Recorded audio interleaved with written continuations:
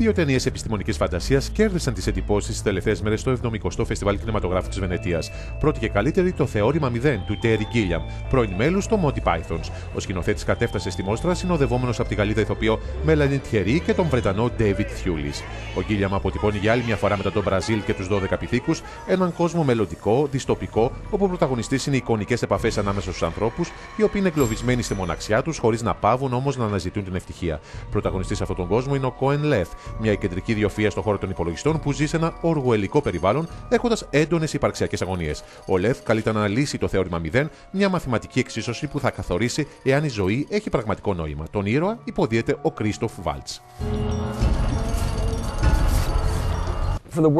Είναι μεγάλη απογοήτευση ο κόσμος να έχει αυτή την κατάληξη, κυρίως από τη σκοπιά που το βλέπει η δική μου γενιά.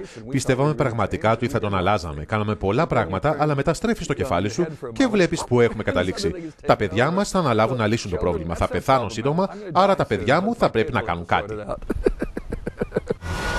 Everyone's getting rich, except you. Learn the secrets of their success tonight at 8 on Dune NBC. Στην 70η Μόστρα έκανε ευρωπαϊκή πρεμιέρα και η ταινία Harlock, ο πειρατής του διαστήματος, που είναι η μεγαλύτερη παραγωγή κινουμένων σχεδίων που έχει γίνει στην Ιαπωνία. Σκηνοθέτης της ταινίας είναι ο Σίντζι Αραμάκη και υπεύθυνος σχεδιασμού των χαρακτήρων είναι ο Ιαπωνέζος καλλιτέχνης κορυφής στα μάγκα, Λέιζι Ματσουμότο.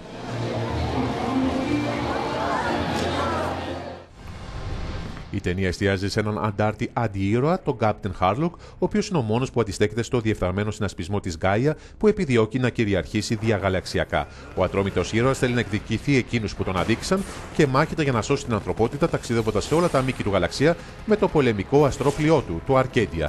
Η ταινία είναι το αποτέλεσμα πενταετούς συνεργασίας των κορυφαίων Ιαπωνέζων animators και ειδικών σε computer graphics. Είναι χαρακτηριστικό ότι το κόστος της έχει ξεπεράσει τα 22 εκατομμύρια ευρώ.